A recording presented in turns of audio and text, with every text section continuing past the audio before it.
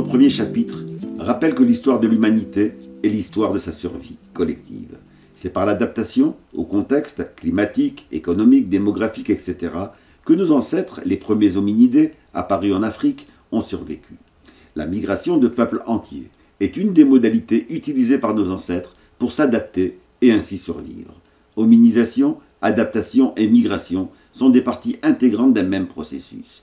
N'en déplaise à certains, non seulement nous sommes tous des descendants d'Africains, mais l'espèce humaine n'existerait plus sans les migrations. Jusqu'au XVIIIe siècle, les déplacements collectifs de population furent la forme dominante du peuplement de la planète.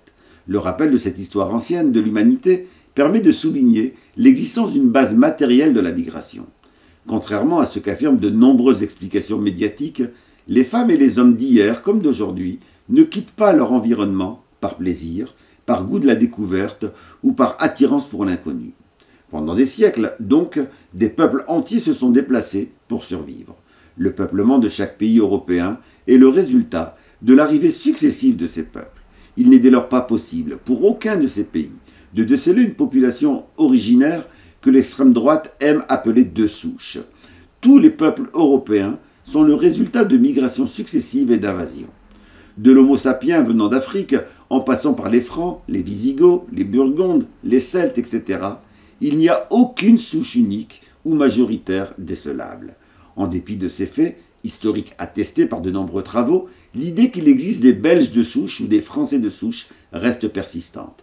Elle véhicule avec elle la crainte d'une possible invasion qui menacerait l'identité de ces pseudo-originaires. La raison principale de cette croyance en l'existence d'une souche est la diffusion par les États d'un roman national, c'est-à-dire d'une version officielle de l'histoire. Tous les Français seraient ainsi les enfants d'Astérix et d'Obélix, selon le roman national français. De la Gaule à De Gaulle, une même identité immuable se déploierait.